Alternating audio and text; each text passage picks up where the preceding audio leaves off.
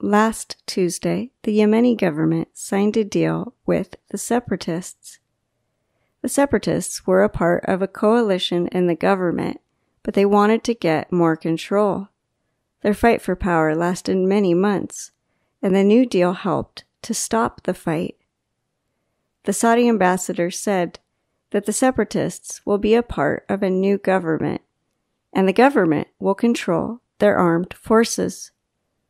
The Saudi crown prince said that the deal can help end the civil war, which started in Yemen four years ago.